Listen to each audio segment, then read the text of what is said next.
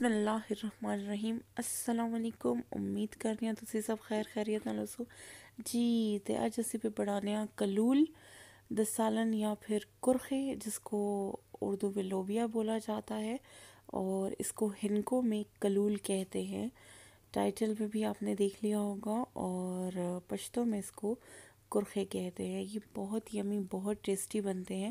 اس کو بنانے کا ڈیفرنٹ طریقہ ہے، لیکن ہم نے اس کی کڑھائی بنائی تھی، اور اس کے چاٹ بھی بنتے ہیں، بہت کچھ بنتے ہیں، لیکن اس کی کڑھائی کے لیے جو انگریڈینٹس میں نے لیے تھے، میں نے لی تھی چار ہری مرچیں، لی تھی آدھی چمچ جو ہے میں نے اجوائن کا لیا تھا، اور جو ہے تو ساتھ میں نے سالن کا مسالہ لیا تھا، ایک بھرا ہوا چمچ، کٹا ہوا مسالہ جو ہے وہ one and half tablespoon تھا، اور دو جو ہے تو وہ جو سالن میں ڈالنے کے کیوبز ہوتے ہیں، اس کو آپ ڈال دو، کنور کے یا کسی بھی کمنی کے ہوں، آپ ان کو ڈال دو، تھوڑا سا گرم مسالہ، اور ٹماٹر جو ہے وہ میں نے چار عدد لیے تھے۔ تقریباً آدھا کلو ہمارے پاس جو ہے لوبیا تھا، جس کو میں نے بوائل کر لیا، جس کو ہم کلول یا کرخے کہتے ہیں۔ اور اس کی چاٹ بھی بنتی ہے، بہت کچھ بنتا ہے ڈیفرنٹ چیزیں بنتی ہیں۔ اچھا جی تو یہ جو ہے اس کو میں نے کنور کے کیوبس ڈالے اور اس کو میلٹ کرنے تک اس کا مطلب میں ویٹ کرتی رہی، انتظار کرنا ہے، جلدی نہیں دکھانی۔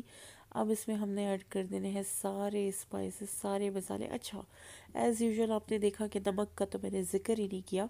تو نمک جو ہے وہ آپ اپنے حسب ذائقہ ایڈ کر سکتے ہو۔ بار بار میں ریپیٹ کرتی ہوں کہ ہم نمک تھوڑا اوائڈ کرتے ہیں اور ویٹ کے لیے بھی اچھا نہیں ہوتا، لیکن اگر خدا نخواستہ کوئی بی پی کا پیشنٹ ہے آپ کے گھر میں، تو پھر آپ کو نمک ضرور اوائڈ کرنا چاہیے۔ یہاں پہ جب یہ اچھے طریقے سے مسالے جو ہے اس کو سوٹے کرنے کے بعد آپ اس میں ان کی ایک اپنی مزیدار سے خوشبو ہو جائے گی، پھر آپ اس میں ٹماٹر اچھے طریقے سے ایڈ کر دو اور ان کو مکس کر دو۔ ہے نا کہ اس کی ضرورت نہیں ہے مکس کرنے کی بھی، کیونکہ آپ اوپر ڈھکن رکھو گے آٹومیٹکلی وہ جو ہوگا سارا کچھ اکٹھا ہو جائے گا۔ اچھا جی اب اس پہ جب یہ سب کچھ ہو جائے گا تو اب آپ نے ایڈ کرنی ہے ہری مرچیں اس میں۔ ہری مرچیں جو ہے وہ اس ٹائم پہ ایڈ کرنے کا مقصد یہ ہے کہ وہ تھوڑی سی جب آپ اس کو کھاؤ تو وہ تھوڑا اس میں جان ہونی چاہیے مطلب وہ بالکل مری ہوئی نہ ہو، زندہ زندہ ہو، تاکہ ٹیسٹ اچھا لگے۔ اب اس پہ میں ایڈ کر دوں گی لوبیا، یہ یہ پہلے سے میں نے اس کو بوائل کیا ہوا تھا اور اچھے طریقے سے اس کو مکس کرنا ہے تاکہ اس کا کلر وغیرہ سب کچھ بہت اچھے طریقے سے ہے اور پانی جو ہے وہ بالکل بھی اس میں ایڈ نہیں کرنا لوبیے والا۔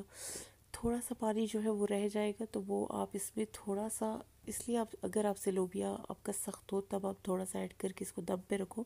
ادروائز اس کو آپ ایڈ نہ کرو۔ لیکن اگر آپ کڑی چاہتے ہو مطلب آپ سالن چاہتے ہو اس کا کڑاہی والا، تو پھر آپ تھوڑا سا پانی اس میں ایڈ کر سکتے ہو، جیسے میں نے ایڈ کیا۔ تقریباً ایک کپ پانی میں نے ایڈ کیا۔